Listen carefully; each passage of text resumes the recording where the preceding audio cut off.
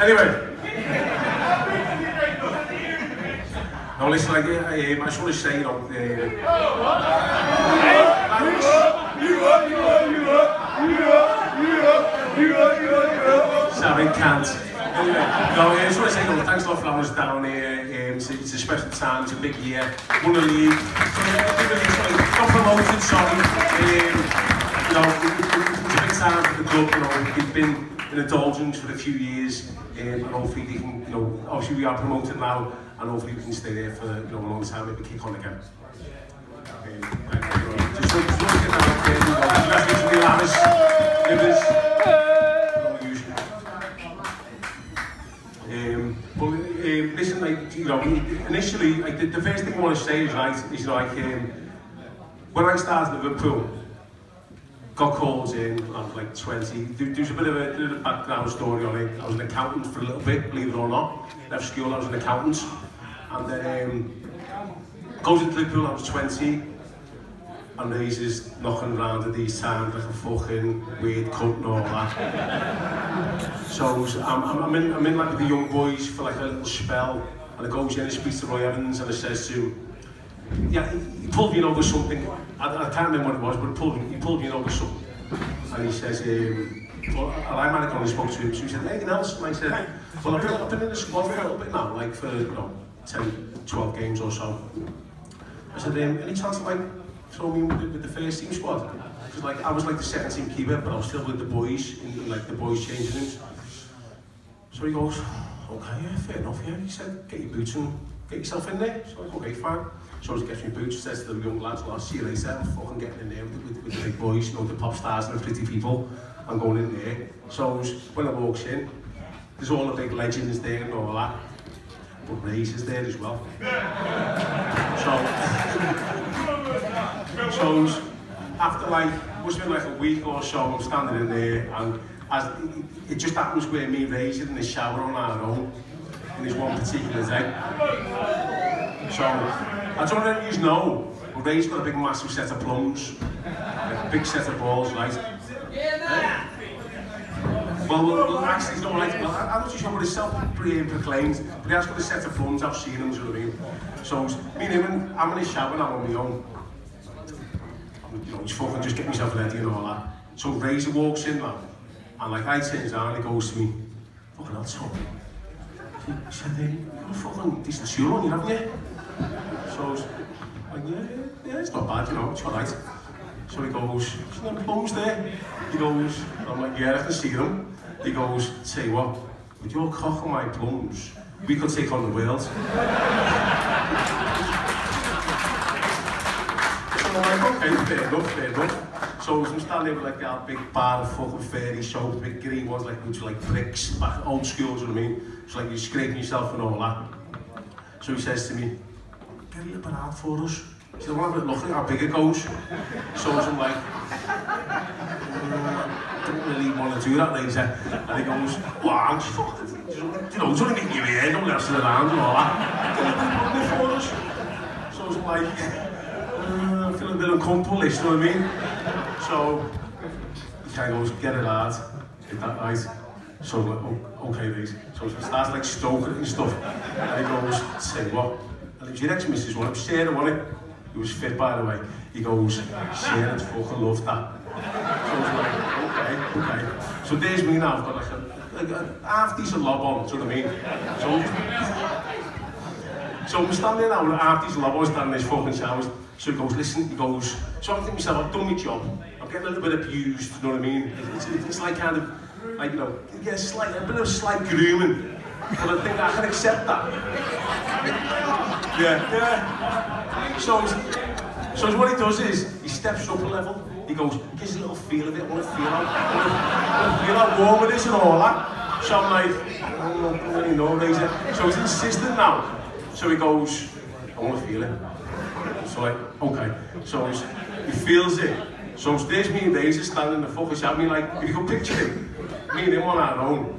And he's just, he's just standing there like that. So he, so he's walking, in. Actually, what that was, I think that the, the squad kind of walked in together, which was a good job. If somebody would have walked in individually, it'd have been like a bit of, did the fucking sit around, like putting reports, you know what I mean?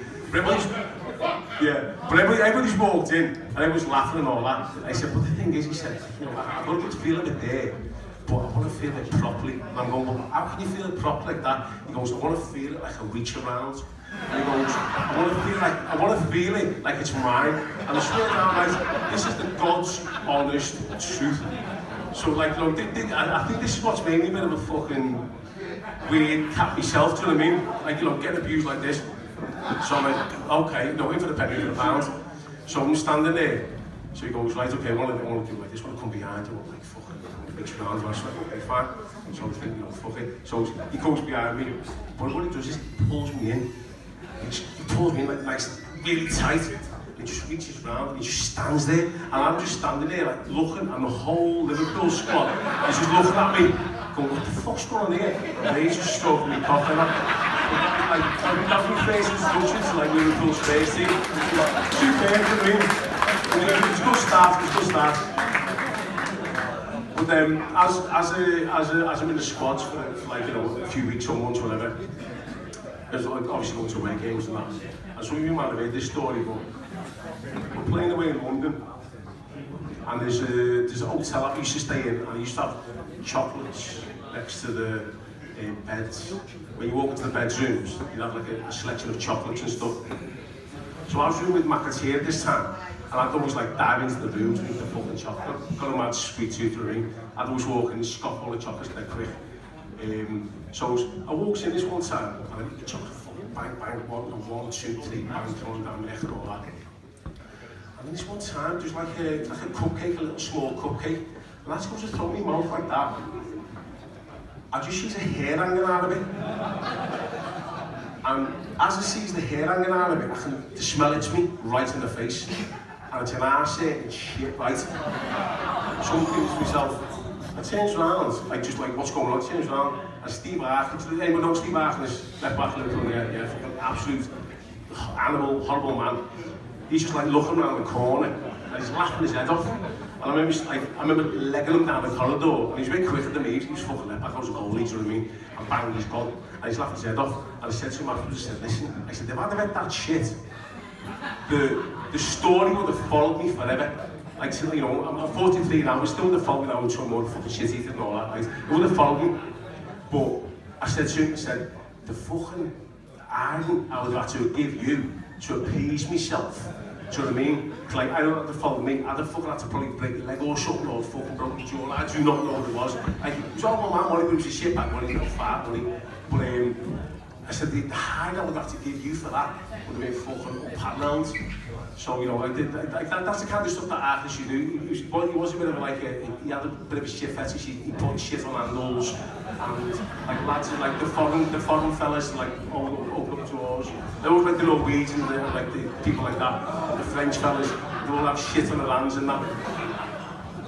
And another time we played in Russia, and um, he, um, I think he shit and stands, he shit and stand Colin Moore's bed. Which was good, yeah. yeah. yeah. yeah, and you understand, you understand the good side to it. But then, nobody's seen that. What we seen was like Stan's like a big cushion. And Stan put the thickest cable in his lovely Louis Vuitton bag all over his fucking boss aftershave and all that. And it was a big, it was a big massive solid, it was like it's like fucking that, big solid shit, like, so, like, you know, like, I, I, like you said, like, that's how we used to fucking, that's, that, that's how we used to roll those days, you know what I mean? So that was that. So then, um, I remember a time we were in, we were in Ireland, and this is pre-season now. So all the way over, Stan Collymore being fucking Stan, like the sense of attention, like the right and the wrong reasons. It's it, yeah. Um, Stan is going, I've got this beer coming in the hotel. She's fucking lovely. You want to see her? She's fit. I like 11 out of 10. She's fucking gorgeous. yeah. so was then. He just wouldn't stop going on. He wouldn't stop going on about this beer. said I met like an expo or something in like Birmingham or someplace place. He was like signing autographs. And this beer's fucking a winner. So was okay, fair enough. So then the day comes where the bear's go to meet him. So everyone's kind of like, you know, we've heard enough about this now, it's getting on our nerves, you know, but Stan's like persisting with it. So then we're all sitting there, you know, she's only like 10 minutes. So it's not like, I'm expecting like Harry come to walk in. So then Stan fucks off, he's going to meet the bear in reception. So speak my Atlas comes in now. Fucking shit, that's his fella. And he comes in and he's beside himself, he's fallen over, he's, the tears are pouring out of his eyes. He goes, fucking stands bait here, come and have a look at her, come and have a look at her. I'm like, fucking, I'm like, she, what, she's that fit, I can't believe, do you know what I mean? I can't believe she's that fit, fucking what, what's going on? So he walks up now, So it's like a big, it was like a big end reception. It was probably about the same size as this. It's got sofas everywhere, and it's in the backs of the sofas. So, yeah, yeah, he knows, he knows what's coming. He knows what's coming. So was, we're walking out now, and Stan, you can see Stan sitting on the, basically like, it's a, it's a big huge sofa like this, and we're at the back of it. So Stan's sitting on it, talking to this bird. Oh, so that I can get the flying She said it just this So we all walk uh, along now. We walk past, we walk past the sofa. And every time any person walks past the sofa and has a look, he starts laughing it's on a job, it's fucking serious. This just comes on and soon this happens, right? So, so as the champagne. They must be like, what, sleep by the round school past. Every time we walk past, they all burst out laughing. That's what we did it. Looking away, just like, don't do themselves. I'm probably like towards the back. As I walk past, he looks now, like that. do a good job, son. Thank you, mate. Thanks. Who's into war? Like, it's No, it was a proper to war, like about like two foot tall, and like legs were legs were just sitting, legs were just sitting like off off the, the cushion, the little high heels like that, and just sitting there. So I'm like, what the fuck's wrong with this bed? sweat. Like, she left. No, I don't give a fuck. I'm gonna a big She's obviously not a person, you I mean? doors gevlogen, weet je, maar zag uit. Zo is... nog wel een wat staan ze zitten, zo is normen. Zullen we ook zo zullen ah, dus we staan? We all this down after about 20 minutes. what the fuck's going on? Stan, is is fucking stun at this big boss man? And all that. He's going, what's happened is, I was like staring at someone, it's flashing that. And some birds walked past. I was said to the de guard, like Stan was like, you know, fucking bit of a, a big in the don't in, zomaar de sportkaarters got de klokklon voor iets pracht in de But Voor iets got een beetje number. I give it to Stan. And then what's happened is, Steve, Stan's been phoning the girl and she's gone, oh yeah, from Ireland. En staat ook to Ireland pre-season, be great I mean, superb, superb, zalig. So Stan's het absoluut like the story to us. And that was that. So he's um he's said, man, he said, like, we're just, they're just going to style. It fucking sound style, mate, you know what I mean? Like, don't sound style, it's a fucking midget, mate, let's have a try. you're fucking devastated, you know what I mean? Telling all of us he's fucking lovely and all that, and it's a midget, and he's got, look, I might actually take it off. I don't know, she's a nice girl, fucking, you remember, don't you? Remember? He's actually going, I might actually take it out, she's a nice person, all that. So, like, that was another episode we his So then, on the same trip, E, we're all sitting there and, and we're up there for a pre-season game and we've got an Excel of Rovers or some kind of license, I can't quite remember. But, yeah, I don't know, were you there? Oh, sorry, very good. So, you remember how good I played? Nah, fuck off, you won't one nil, still with Anyway, but, um, Roy Evans pulls me, he says to me, listen, Starting today. Now, this is the first game I played for the first team. As we all know, my name is, you might know, you might not, but I'm, my name is Polish, or my other name is Polish before I come to Millwall, uh, because I, I sat on the bench for, for about a million games. I never played, I got all the Polish for, for all the games, like all European games, I think it's fantastic, and you know, fucking loads of, loads of money for sport and all, that. But fuck it, I got it, you know what I mean? It's not my name. So then, um, we're at um, up this game now. So, so in time, we got this game, Brandon said to me, you're playing, like fine, really happy with myself, gonna start with the first team, lovely. Goes down to pre-season, sorry, so goes, goes down to the pre-match meal. So, gets me meal, comes back to me chair. I'm sitting next to Razor, I'm sitting next to J-Mo, on my seat in the middle there. I don't know who's done it, I think it was J-Mo trying to say, but there's all water on your seat, like fun, fucking funny, ha-ha, and all that, right? So, I changed my sheets.